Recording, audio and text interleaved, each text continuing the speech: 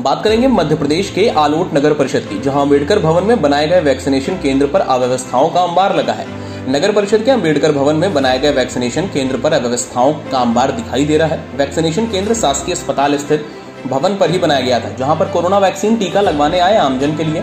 बैठने की उचित व्यवस्था रहती थी, लेकिन शासन द्वारा एक मई से नगर परिषद के भवनों में वैक्सीन केंद्र बनाए जा रहे हैं, जहाँ लोगों को कोरोना वैक्सीन टीका लगाया जाएगा। ऐसे में आलोट नगर परिषद के अंबेडकर भवन में सुबह आठ बजे से कोरोना वैक्सीन टीका लगाने का कार्य प्रारंभ हुआ है लेकिन नगर परिषद से यह आलम था कि ना तो वहाँ टीका लगाने आए लोगों के लिए बैठने की कोई व्यवस्था और न ही साफ़ सफ़ाई है। देखिए विशेष रिपोर्ट संवाददाता पूर्चंद सेन के साथ। सर केंद्र है जो अधिकतर शासकीय हॉस्पिटल में होता था और आज ऐसे में अंबेडकर में। किस योजना के तहत या किसके द्वारा किया गया यहाँ पर?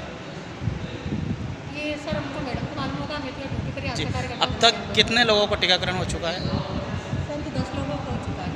जी। यहाँ पे अधिकतर जो वैक्सीनेशन लगाने आए हैं, ये नीचे बैठे हुए और यहाँ किसी बात कोई व्यवस्था दिख रही है। और शायद यह भी बताया जा रहा है कि यहाँ पे कोई सफ़ाई नहीं हुई थी और आपके लोगों के द्वारा ही सफ़ाई की गई है।